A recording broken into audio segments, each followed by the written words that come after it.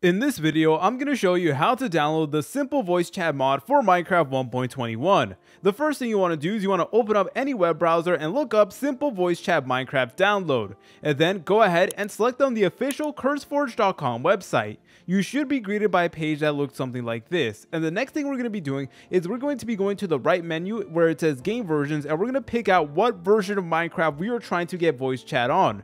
So for this video, we're going to be getting voice chat for Minecraft 1.21. So all I'm going to be doing is I'm going to be pressing on view all and over here we have a list of all of the different versions of simple voice chat.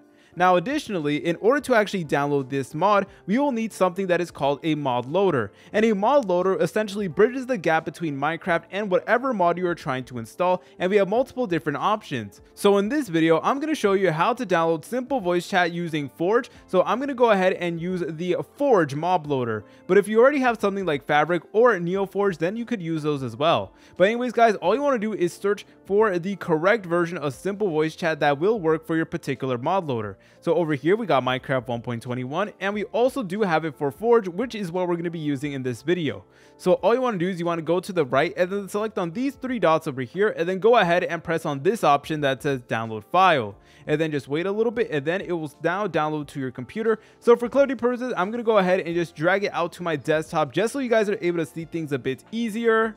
Okay, now once you got that done, the next thing we need to do is we need to make sure that we got Forge installed. So all you want to do is you want to go to the official Forge website, which should be right over here. And now over here, we have all these different versions of Forge. So all you want to do is you want to locate the correct version of Forge or the version of Minecraft that you are trying to get the simple voice chat mod on. So recall, we are working with Minecraft 1.21, so I'm just going to be selecting on 1.21 and then just select on this right over here and then go ahead and just press on installer and then just wait a little bit and then go to the top right and then select on this button that says skip and now it will install the Forge installer. So again, I'm just going to go ahead and drag it out to my desktop just so you guys are able to see things a bit easier. And it seems like I already have it on my desktop, so I'm just going to be pressing on replace file. But do not worry guys, this process will still work. Okay guys, so now that we got these two files, the next thing you want to do is you want to right click on the Forge installer and then you should see an option that says open with and then Java and then TM platform SE binary. Now for whatever reason you do not see the option that says open with or see the option that says Java and then SE binary,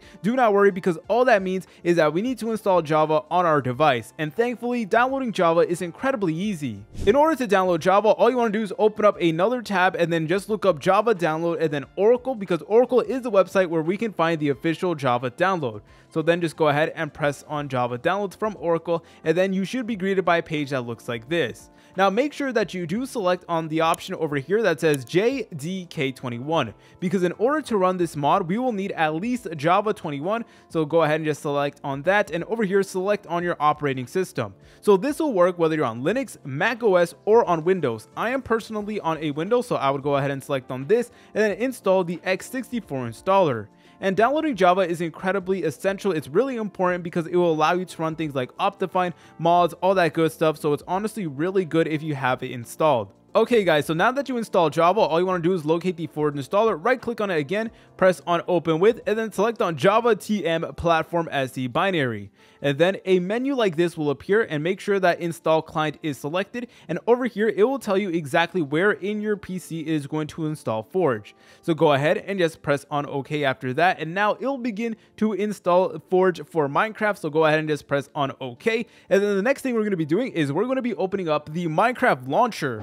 Okay, once you're in the Minecraft launcher, it should automatically change your installation to the Forge download that we downloaded previously. However, if you do not see over here that it says Forge, make sure you go over here to where it says installations and over here where it says versions, make sure the box that says modded is actually turned on because this is considered a modded version of Minecraft. And once you turn that on, go ahead and press on this button that says new installation and then manually look it up here in the version selection. But anyways, guys, thankfully, I was able to find my Forge installation over here. So if you see it right here, then you are good to go. You don't need to do anything else. Okay, so the next thing we're going to be doing is we're going to be locating the Forge installation, and mine is right over here.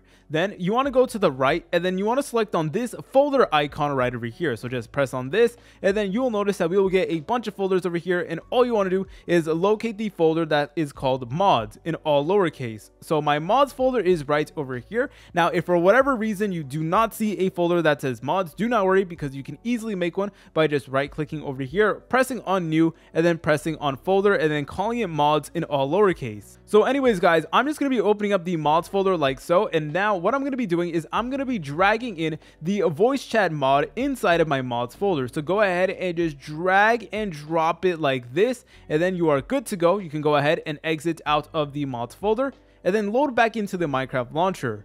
Select on play over here make sure that Forge for whatever version of Minecraft is selected, then go ahead and press on play again. And just wait for a little bit because now it will begin to open up Minecraft. And as you're able to tell, yep, we do have Forge installed over here in the bottom left. It will tell you that we do have some mods loaded in. So all you want to do from here is go ahead and load into a brand new world or an existing world that you already have. All right, guys. So now that you're in your Minecraft world, all you need to do is press on the V key on your keyboard. And then it is going to actually give you like a short little tutorial on how to use simple voice chat. Or if you already know what you're doing, you can go ahead and skip on it. So it really is up to you. So as you're able to tell, yep, you can now configure the mod from here. If you guys found this video helpful, make sure to leave a like and subscribe. I will see you in the next tutorial.